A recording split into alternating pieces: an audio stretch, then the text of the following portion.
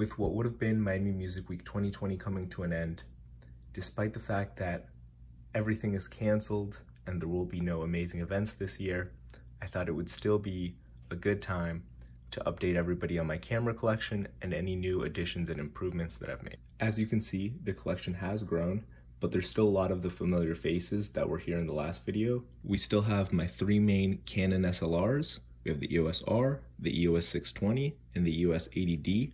Those are still my primary SLRs that I'd be using on a daily basis.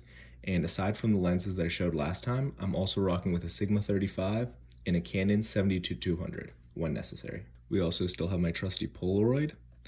We have my Kodak Star 835 and the Lomography fisheye, which I also be using all three. Aside from the familiar faces we had last time, as you can see here and here, we have several new cameras. So let me take out the old ones and show you guys just the new stuff. So here are the five new cameras that I purchased in the year that I made the last video on average, I'd say I've had each of these cameras about nine months. So first we have the Olympus XA. This is actually the XA1. It's a rangefinder and you focus right here with this at the bottom.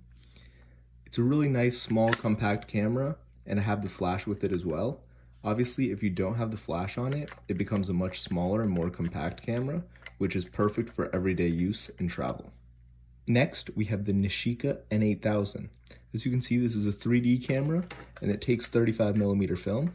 This is a really cool and really fun camera and I also have the flash with it, which at the moment isn't working, but this is an amazing camera and I really like taking pictures of my friends with it. You obviously don't get as many exposures in a roll because you're shooting four photos at once, but the images that you get are on film and the results are really cool once you animate them into GIFs. Next, we have the Argus M5700D.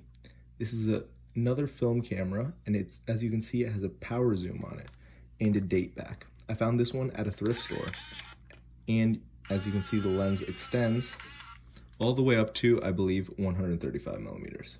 So this is a really cool, really fun camera. It's got that date on the back. It's got a bunch of modes. It's got some cool features. So really sweet pickup that I picked up at the thrift. Next up, we have the Olympus Stylus.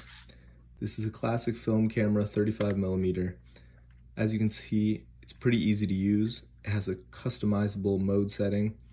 Um, it's a 3.5 lens and it's a very sharp lens with the autofocus. Sometimes the autofocus isn't perfect, but all around, this is a great camera to just stick in your pocket and take with you anywhere. It's really, really small. It fits in the palm of your hand and the photos that you get are really good on this one.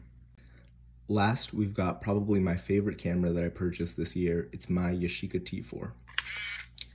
As you can see, you have that beautiful Zeiss lens f3.5 and it has all your flash settings that you want. It's really easy to just point, shoot, and take pictures.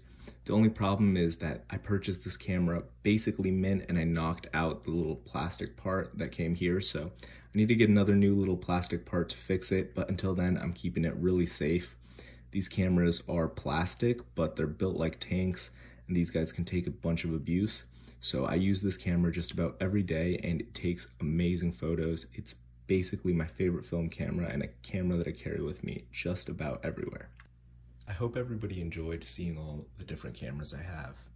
Please stay inside, stay healthy, and hopefully everybody will be going back to taking pictures soon.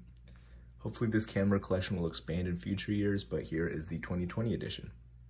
I hope you have also all been inspired to share your collections as well. And if anybody's got this little plastic front part for a Yashica T4 or any cameras that they think I'd be interested in, let me know. Send me a message.